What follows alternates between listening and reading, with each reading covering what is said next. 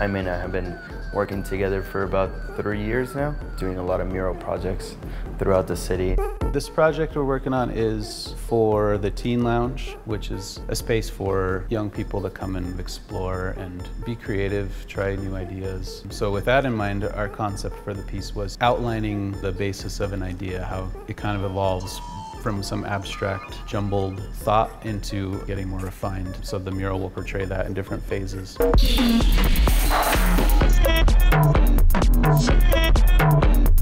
We did a project this past summer with some other teens and it went absolutely terrific. So we're excited to work with them and see what ideas they come up with and try to make this whole space not just for our mural but for them as well.